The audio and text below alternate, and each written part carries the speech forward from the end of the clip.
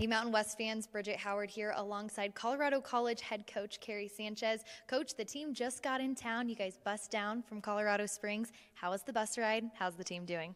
Uh, I think we're in good spirits. We, uh, we had a good bus, bus ride down. Um, I'm sure they got to catch up on their sleep and some maybe some Netflix shows. But uh, we're just excited to be here and, and hope hope we're not here for just in one night. This is the Tigers' fourth conference tournament appearance since joining the league in 2014. How'd you get here this year?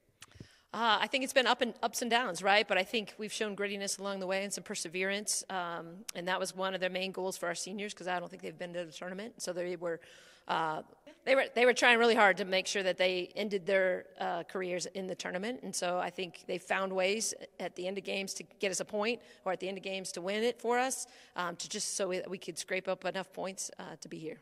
You mentioned those seniors not having been to the conference tournament. You yourself, when you played in college, won four national championships at North Carolina. What's the message been from your experience to your players who have yet to be in this position before? I think it's just taking all of the experiences that we've had over the course of this journey, right? And I just reminded him today. This started with a Zoom call that we had in December when I met the team, and then we spent all spring with uh, uh, 17 of the returners and added some fresh faces in August. And it's about the journey and all the little things that we've learned along the way. If we can put them all together, uh, we can hopefully make a run in this tournament. Well, you get San Jose State tomorrow. You played them in late September, lost one nothing at home. What do you do this time around to flip the script?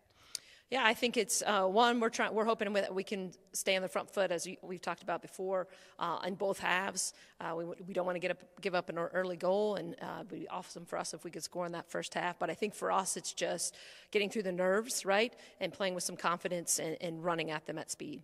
Well, coach, thank you so much, and good luck tomorrow. Thank you.